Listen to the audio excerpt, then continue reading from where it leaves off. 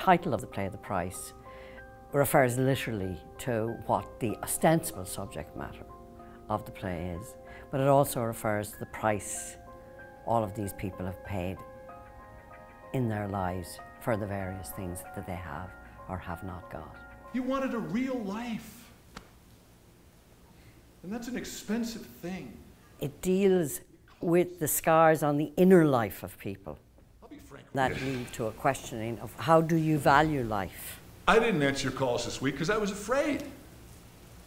I've struggled so long for a concept of myself. I don't know if I can make it believable to you, but I'd like to. The issues in the play are issues you don't ever think you'll have to confront or deal with when you're in your 20s or 30s. And suddenly, when you're in your 50s and 60s, this play makes a whole lot of sense. Do you know what the goddamn trouble is? What's the goddamn trouble? We can never keep our minds on money. We talk about it, we worry about it, but we can't seem to want it. I do, but you don't. I really do, Vic. I want it. Vic, I want money. Congratulations.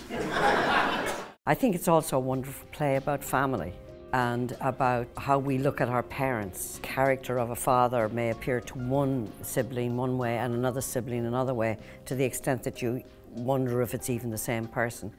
We were brought up to succeed, weren't we? I hear it every night, you know, at the end of the play. People can relate to this play uh, in a lot of different ways. Well, The Price is one of Miller's greatest plays. In fact, there are certain people who would rank it with Death of a Salesman, Crucible. But all these years we've been saying that once we get the pension, then we'll start to live. I've never done a play by Arthur Miller, and frankly, um, it was one of the Arthur Millers that I thought would be a good way to begin. It's a play that, you know, again, it sounds so cliche, but it has those resonances that you know, are, are pertinent today.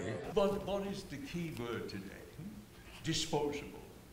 The more you can throw it away, the more it's beautiful. This is a great play. Uh, it should engage and move in the way theatre can do.